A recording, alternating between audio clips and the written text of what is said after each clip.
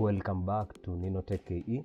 So today we'll be identifying a song that is playing on your browser. So to find out which song is playing in your browser, all you have to do is install a Shazam extension.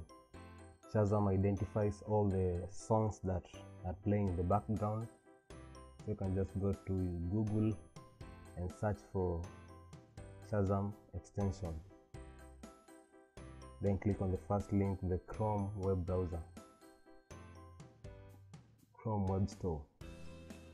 As you can see, I have installed the Shazam extension already, but this is the procedure. I'll just remove it first of all. So when you come to this page, you go to this button right here and say add to Chrome. Then you see this pop up add Shazam, add extension. As you can see, it has 300,000 plus users and a good rating. Shazam identifies all the song. As it's checking, you can look at its features. So, just install briefly it has installed and has been added to our Chrome extensions. It has been installed and added to our Chrome extensions. So when you click on extensions,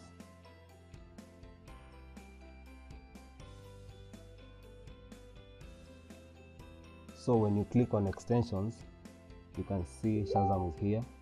You can pin it to your to your browser by just clicking on this pin right here.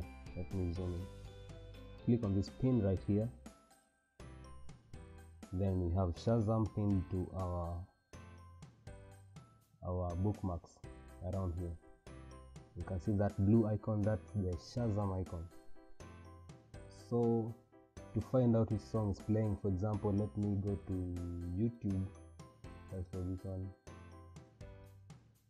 can search for any music.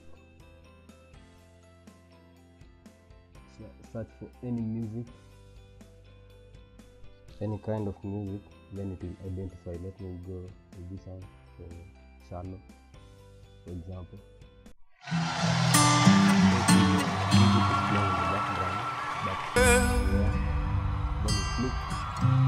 Are you happy in this modern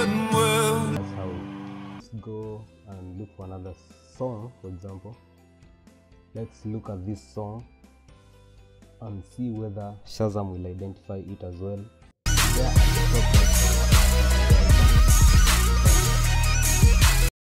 There at the top right corner, there on the top right corner click on the icon.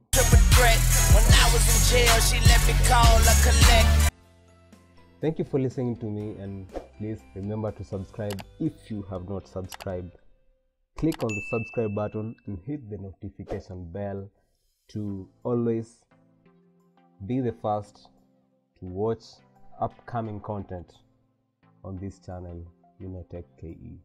See you on the next video.